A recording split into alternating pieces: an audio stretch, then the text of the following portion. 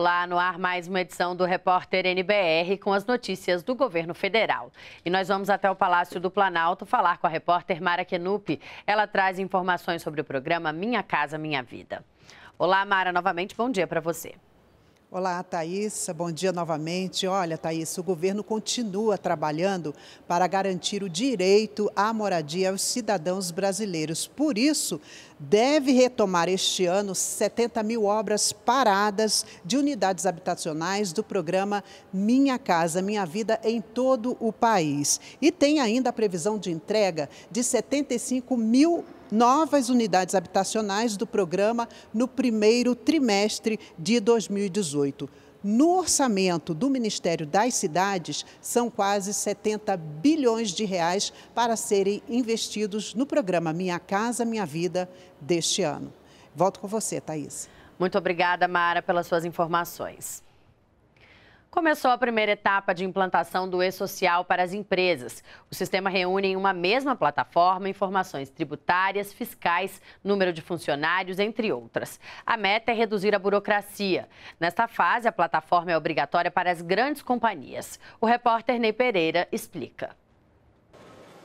Empresas com faturamento superior a 78 milhões de reais por ano já estão obrigadas a usarem o e-social sistema que unifica informações fiscais, previdenciárias e trabalhistas dos empregados. Mais de 13 milhões de empresas estão neste grupo e representam cerca de um terço do total de trabalhadores do país. Para esta empresa do Rio de Janeiro, o e-social deve diminuir a burocracia. Com a entrada do e-social, nós transformamos essas informações em meio digital. Então ele tanto facilita o armazenamento quanto facilita a consulta. Então nós não temos a mínima dúvida que a médio e longo prazo vai ser um benefício muito grande para as empresas, além delas poderem utilizar essas informações de forma gerencial. Primeira etapa agora, nos primeiros dois meses, as empresas que estão obrigadas, né, essas que tiveram faturamento acima de 78 milhões, elas estão obrigadas a mandar dados cadastrais e tabelas. São as primeiras informações.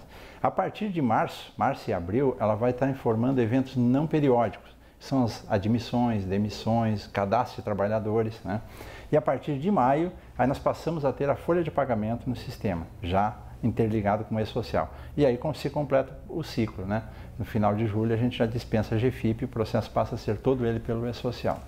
Até agora, para contratar uma pessoa, as empresas tinham que enviar uma série de informações para diversos órgãos do governo.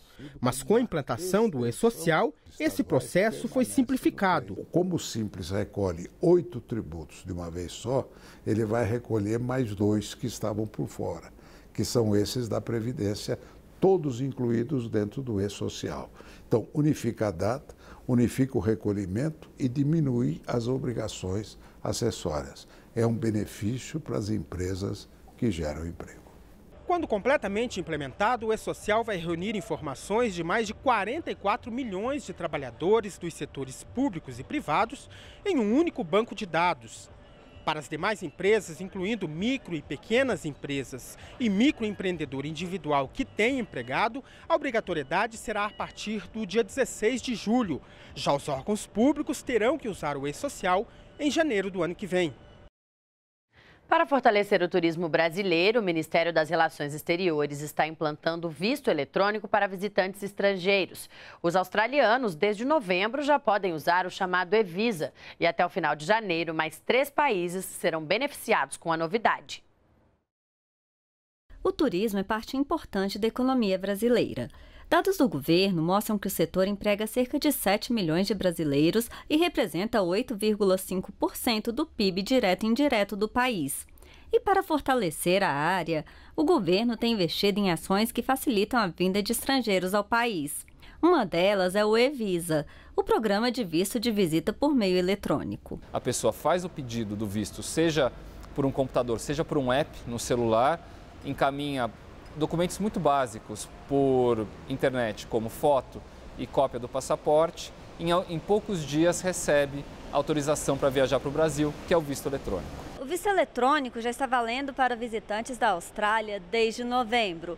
O próximo país a ser beneficiado será o Japão, em 11 de janeiro, seguido pelo Canadá no dia 18 e pelos Estados Unidos em 25 de janeiro. Juntos, esses países foram responsáveis por mais de 60% da demanda de vistos de turismo para o Brasil em 2016. Por telefone, conversamos com a Cristiane, que mora nos Estados Unidos há mais de 30 anos. Ela contou que o ex-marido norte-americano sempre passava um bom tempo juntando os documentos para ir ao consulado. Ela acredita que com a facilidade do visto eletrônico, mais pessoas devem visitar o Brasil. Todas as vezes que meu ex-marido precisava de renovar o visto, era uma burocracia muito grande.